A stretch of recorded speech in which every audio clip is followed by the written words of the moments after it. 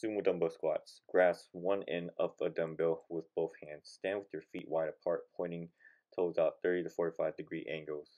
Uh, keeping your arms fixed and your torso upright. Inhale as you lower the dumbbell towards the floor by flexing your hips and knees. Uh, descend at least until your thighs are parallel to the floor. Hold for a count of two. Exhale as you push yourself back up to a standing position.